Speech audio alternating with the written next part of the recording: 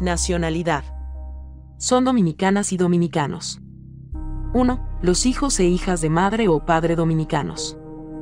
2. Quienes gocen de la nacionalidad dominicana antes de la entrada en vigencia de esta Constitución.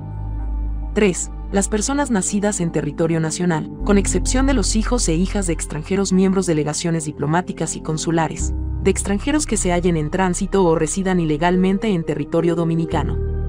Se considera persona en tránsito a toda extranjera o extranjero definido como tal en las leyes dominicanas.